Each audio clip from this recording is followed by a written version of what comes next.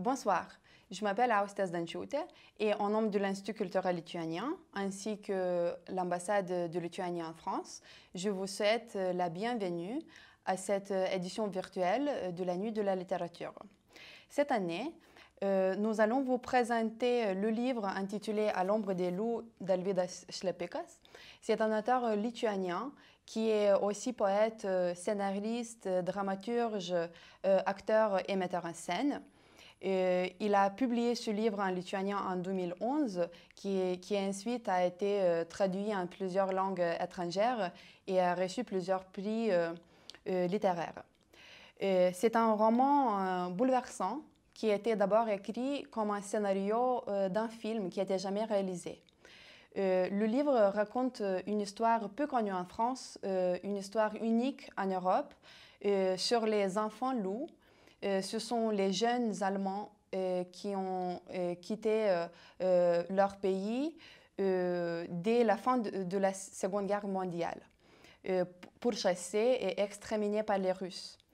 leur but était de trouver un refuge en Lituanie l'auteur euh, Alvida Schlepika s'est inspiré du témoignage euh, de deux survivantes euh, pour écrire ce livre. Et je, tiens à remercier chaleureusement donc l'auteur Alvida Schlepikas pour, pour d'avoir accepté notre invitation pour participer à, cette nuit de la littérature, ainsi qu'à Andrus Leluga qui va euh, ensuite lire euh, des extraits de ce, de ce roman en français et à Marielle Vituro pour la conversation avec l'auteur. Euh, je vous souhaite une excellente écoute et bonne lecture. Si vous décidez de lire le, le, roman en, français, qui est bien sûr disponible en librairie. Et bonne soirée.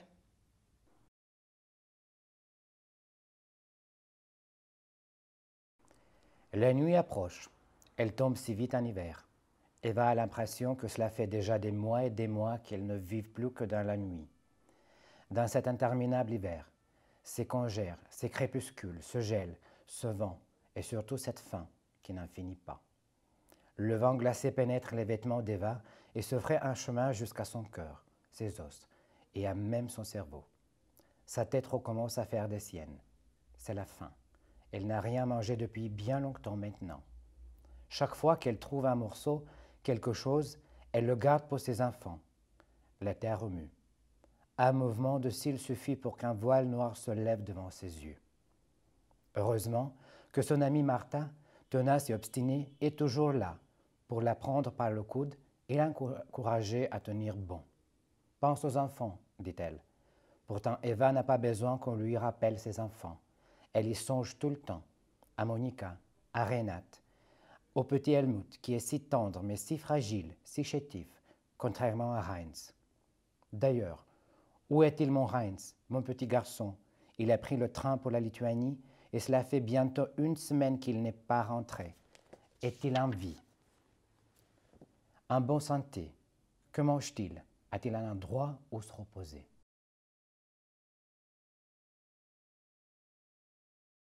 Helmut regarde sa maman avec le plus grand sérieux et se décide.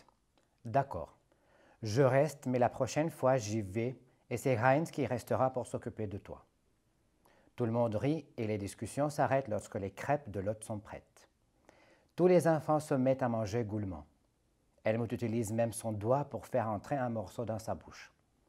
Ne vous précipitez pas, les enfants, ne vous précipitez pas. Après avoir eu si faim, vous allez avoir mal au ventre, recommande l'hôte. Non, il n'y a que la faim qui me donne mal au ventre, retorque Helmut, la bouche pleine avant de se mettre à rire. Ryan s'assoit sur la couche. Il observe sa mère, qui sourit toujours un peu, et les enfants, qui se réjouissent encore des bonnes choses qu'il vient de leur apporter. Il croise le regard de sa mère, lui sourit et puis, comme s'il avait honte, redevient tout sérieux avant de laisser tomber sa tête et de s'endormir.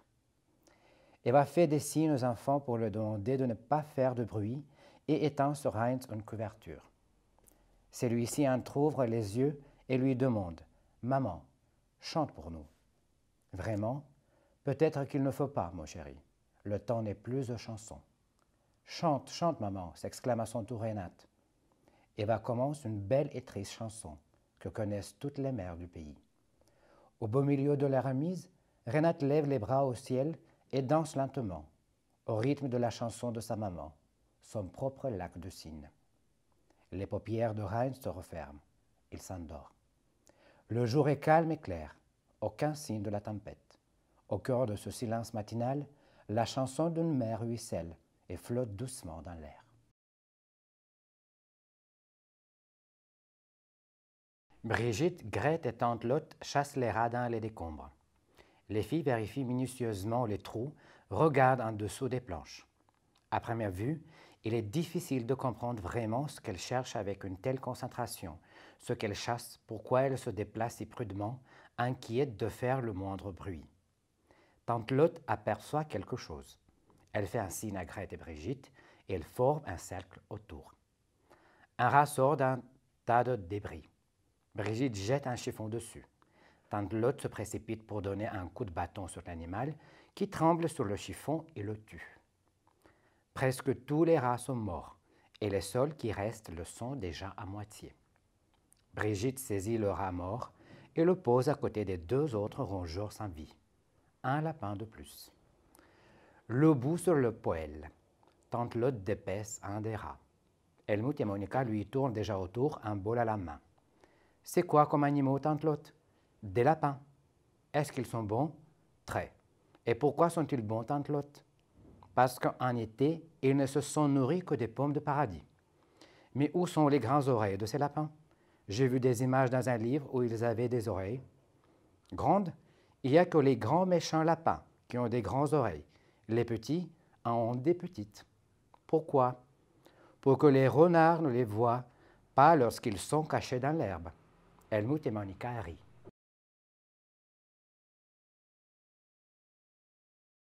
Les soldats emmènent les femmes et les enfants avec eux. Le vent est glacé et tout autour on ne voit que maisons en ruine, étables incendiées, boîtes, valises éventrées, chariots et landaux cassés. La neige est sale, souillée de suie, de taches d'huile et de sang. Tout le long de la route, des corps congelés gisent sur les bas-côtés, tandis qu'un peu plus loin, des gens sont assis sur des bûches. Les enfants demandent Pourquoi font-ils cela? Qu'est-ce qu'ils attendent? L'autre leur explique Ils sont morts. Ils se sont assis parce qu'ils ne pouvaient plus marcher et ils sont gelés. Lot et tirent le traîneau dans lequel sont assis Otto et Helmut. Eva marche derrière. Ses yeux se ferment. Ses jambes sont aussi lourdes que des bûches de bois le froid et la faim le rongent tel un grand ver de fer qui se serait installé dans sa poitrine, et il ne souhaite plus qu'une seule chose, mourir.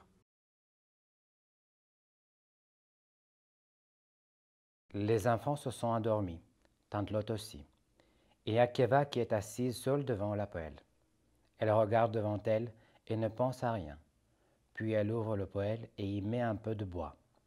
Le feu a un effet calmant sa flamme est inconfortante. Eva se souvient de Rodolphe, de ses parents, de tous ses proches, de ceux qu'elle n'a pas vus depuis si longtemps et qui peut-être ne sont plus de ce monde. Elle a soudain envie de voir leurs yeux, leurs visages, leurs sourires. Elle allume la bougie et sort attentivement pour ne pas réveiller les autres une boîte en bois placée en dessous du lit. Elle l'ouvre.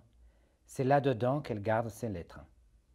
Elle les regarde les unes après les autres et les respire. Elles, ont l'odeur du passé et de la paix. Mais peut-être que ce n'est qu'une impression. Peut-être que je suis naïve de penser ainsi, songe Eva. Elle saisit quelques photos. L'une d'elles montre son mari en uniforme militaire. Il était si beau, si viril. Où es-tu à présent? Dans quel genre d'endroit vis-tu? Que manges-tu? Quelle chanson écoutes-tu? Es-tu vivant? Te rappelles-tu de nous? Elle n'arrive pas à croire que cette personne, son bien-aimé, le père de ses enfants, gît peut-être déjà et depuis longtemps quelque part sur le bord d'une route. Elle ne veut pas y penser. Il doit être vivant. Ils se retrouveront tous un jour. Pourquoi ne se retrouvent-ils pas? Pourquoi faudrait-il qu'il ait nécessairement péri? De tout temps, Les gens sont partis faire la guerre, mais ils en sont aussi revenus, peu importe qu'ils aient perdu. Eva observe la photo, puis Helmut en train de dormir, les filles, l'hôte, et sourit en s'oubliant un instant. Elle attend au loin le bruit d'un train qui passe.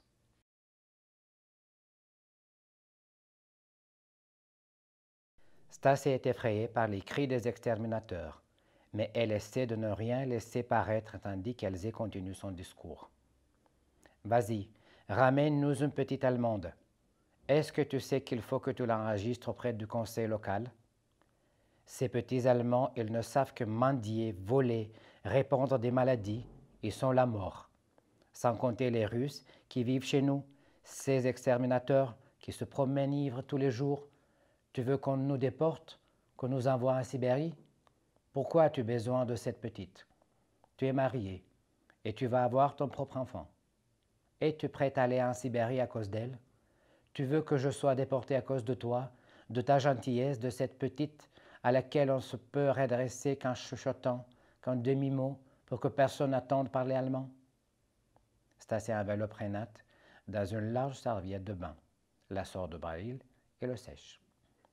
Elle lui dit en lituanien Heureusement que tu ne peux rien comprendre de ce que ma méchante sœur est en train de radoter.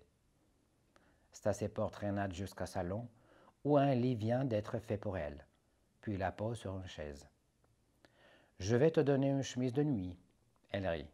Elle sera trop grande pour toi. C'est la mienne, mais demain je t'en coudrai une nouvelle. Elle sera très belle et je te ferai aussi une robe. Maintenant tu dois dormir.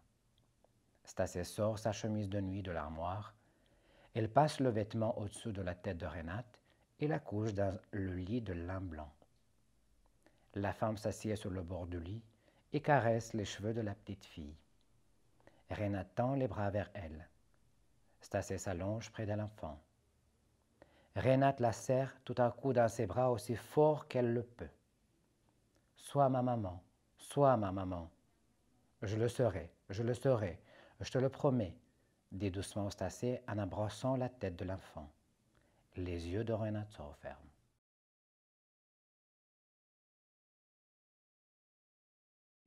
Sveiki, Alvidai. Jūs esat autorius, jūs parašėte knygą prancūziškai vadinasi Alombrų dėlių, lietuviškai mano vardas Marytė. Kaip atrado tokia istorinė tema, kas skatino parašyti knygą, parašyti romaną apie, apie vilko vaikus? Na, tema tarsi pati mane susirado, o ne aš ją.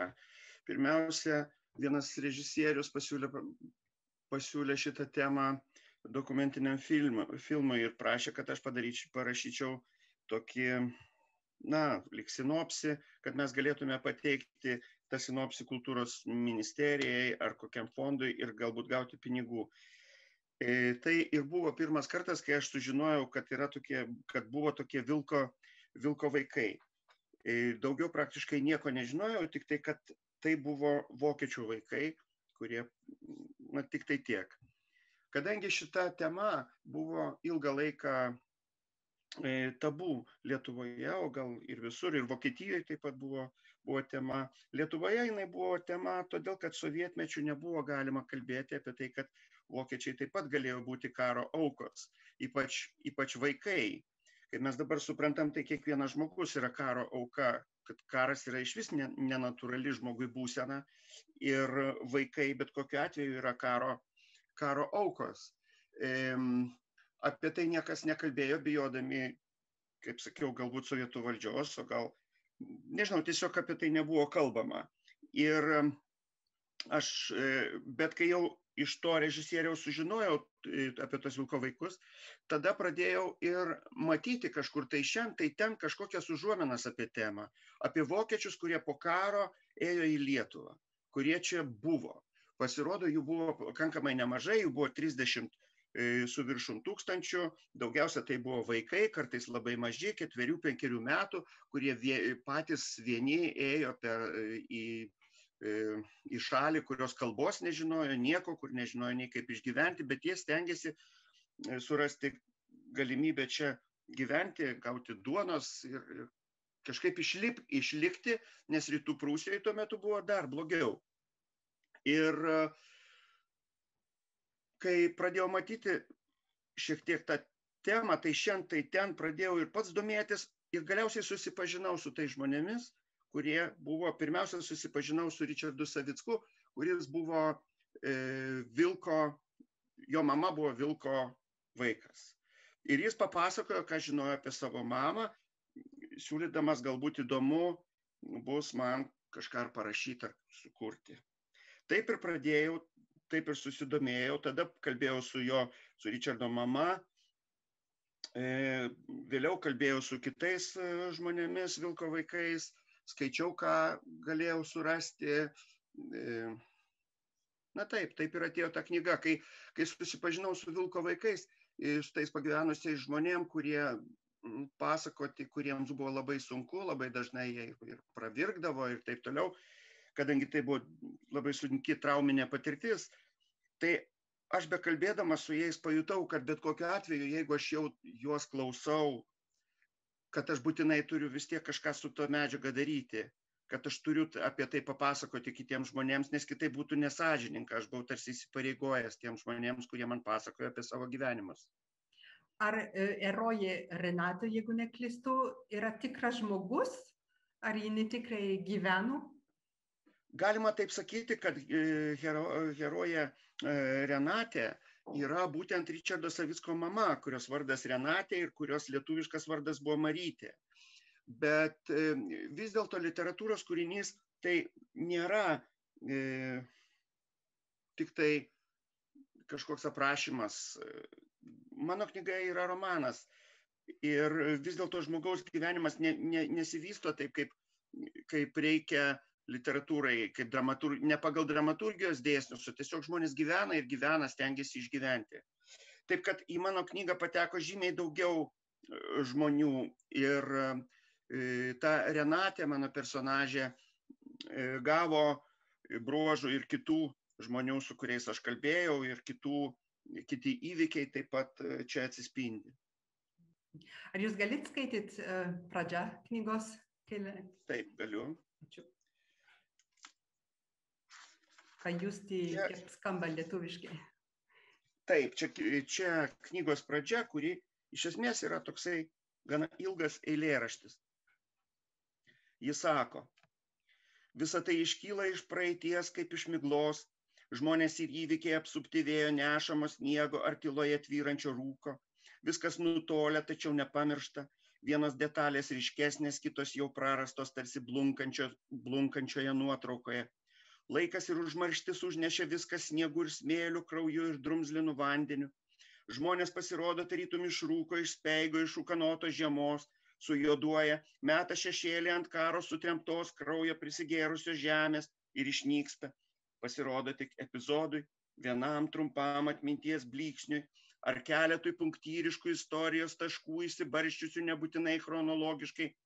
Štai užrašas plakate vos persikėlus per Nemoną raudonosios armijos kary priešais tave fašistinio žvėries irštva štai rusų kareiviai apsikarstę grobius sieniniais laikrodžiais užuolaidomis sidabrinėmis lėkštėmis. Štai moters kūnas be galvos prikaltas prie sienos štai minia išbadėjusių žmonių draskančių kritusį vandenvežio kuiną štai motina su vaikais einanti tiesiai į ledonešių grūmantį nemuną panyranti srovėje be jokios išraiškos be jokios minties tarsi nusiskandinti būtų paprasta ir kasdieniška. Štai lavonai kuriuos išneša upės pajuodusius ir išpurtusius be vardų be pavardžių štai išdraskyti kapai štai išsprogdintų bažnyčių griuvėsiai štai brošiūros dalinamos sovietų kariams rusiškai raginančios žudyk visus vokiečius taip pat jų vaikus nėra nekaltų vokiečių imk jų turtą imk jų moteris tai tavo teisė tai tavo grobis. Štai motinos keičiančios, perdodančios savo vaikus lietuvių ūkininkams už bulves, miltus, už maistą, kad kiti vaikai išgyventų.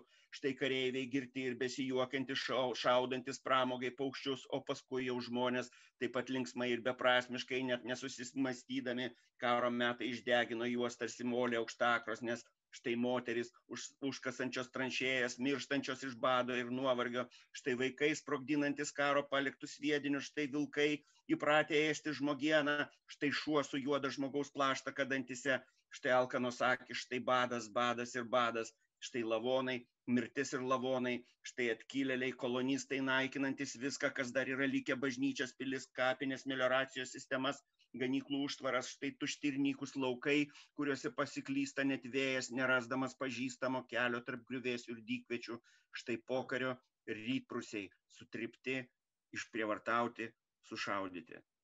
Ačiū. Ir e, paskutinis. Gal per ilga, bet jūs gal sutrumpinsit. E, ir paskutinis klausimas, jūsų knyga gavo keturis apdovanojimus. Tai kas taip traukė skaitytojus Lietuvoje ir koks ar pasikeitė Vilko vaikų e, likimą po, po šios knygos, ar buvo labiau atkreipiama dėmesį į juos? Aš nežinau, ar keturis gavo apdovanojimus, gal net ir daugiau, bet ir knyga susilaukė dėmesio ir ir Lenkijoje buvo nominuota į Angelus premijos, buvo įtraukta į trumpai sąrašą ir Vokietijoje ir Lietuvoje buvo apdovanota, bet ir iš tikrųjų žmonės skaito tą knygą, jinai dabar yra įtraukta e, į pasirinktinę e, moksleivių programą, jie gali pasirinkti besimokantis vidurinėje mokykloje. Moksleiviai ir analizuoti per literatūros pamokas, todėl mane labai dažnai kviečiasi į, į mokyklas. E, na, nenoriu girtis, bet mano knyga buvo gana stiprus impulsas e, pradėti kalbėti apie šitą temą. Iki prieš pasirodant e, mano knygai buvo taip pat pora, pora knygų Lietuvoje, lietuviškai, tai buvo e, Rut Kibelka Leizerovič knyga Vilko vaikai ir dar viena lietuvės e, rašytojos Silvijos Peleckienės Kaktavičianės knyga, kur buvo surinkta šiek tiek e, Vilko vaikų atsiminimo. E, ir pati tema nebuvo labai žinoma, bet mano knyga tapo populiari ir jinai pirmiausia e, sudomino ir žurnalistus, jie pradėjo daryti ir radio, ir televizijos laidas, ir dokumentinius, ir dokumentinius filmus. Taip pat, kaip sakiau, ir moksleiviai pradėjo studijuoti mokykloje. Ir na susidomėjimas buvo ganėtinai didelis ir dabar lietuvoj jau turbūt labai labai daug kas žino apie tai kas yra vilko vaikas ir ta tema po, po to pasirodė ir daugiau ir knygų pasirodė šią temą ir verstų knygų iš vokiečių kalbos, bet ir, ir, ir Lietuvoje parašytų. Ir kas svarbiausia, kas man pačiam atrodo labai svarbu, kad nekartą girdėjau būtent iš Vilko vaikų vaikų, kurie man sakė, kad kai jie perskaitė knygą ir tada ir tai buvo praktiškai pirmas jų žinios apie tai, ką patyrė tev, jų tėvai, kadangi tėvai jam nieko nepasakojo. Ir tada jie mano knygą davė skaityti tėvams ir tėvai perskaitė, jie tarsi pratrūko kaip kokia užtvanka ir pradėjo pasakoti apie savo išgyvenimus. Kodėl jie nepasakojo, buvo turbūt keletas priežasčių, bet viena, žinoma, pati pagrindinė, gal viena iš pagrindinių, žinoma, buvo tai, ta skaudi trauminė patirtis, kurios nelabai norėjo turbūt žmonės prisiminti. Ačiū labai. Taip, kad mano knyga, manau, šiek tiek atvėrė, šiek tiek atvėrė kelią tai žiniai apie vilko vaikus. Ačiū labai Jums. Dėkui. Ačiū Jums.